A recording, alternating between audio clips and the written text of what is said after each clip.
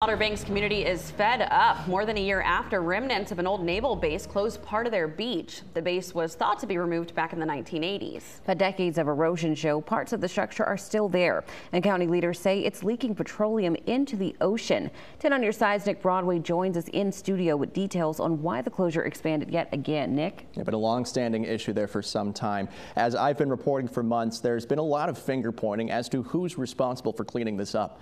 Big slabs of concrete, metalwork, rebar, and piping are all sticking out of the sand on this nationally recognized beach. A lot of people go here.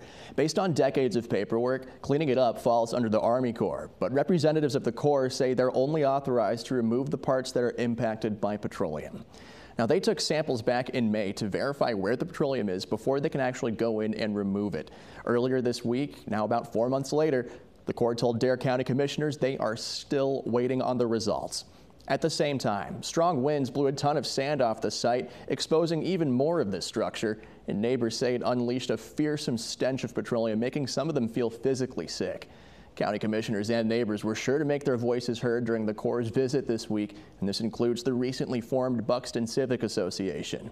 Heather Jeanette says they, along with county leaders, are now in talks with federal officials, including some U.S. senators. Jeanette worries the ocean might be moving faster than the Army Corps' process. Many have asked what's stopping someone from just bringing their own equipment and taking this out themselves. Well, since petroleum is still there, hastily removing this could be dangerous.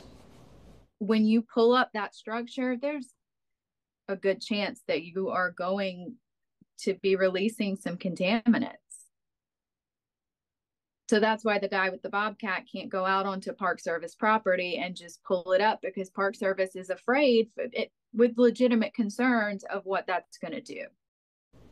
The Corps did say their recent geophysical survey shows the petroleum pipes are not linked to any leftover storage tanks. They're still working with Buxton to form an advisory board that will focus on remediating the site. Nick Broadway, 10 on your side.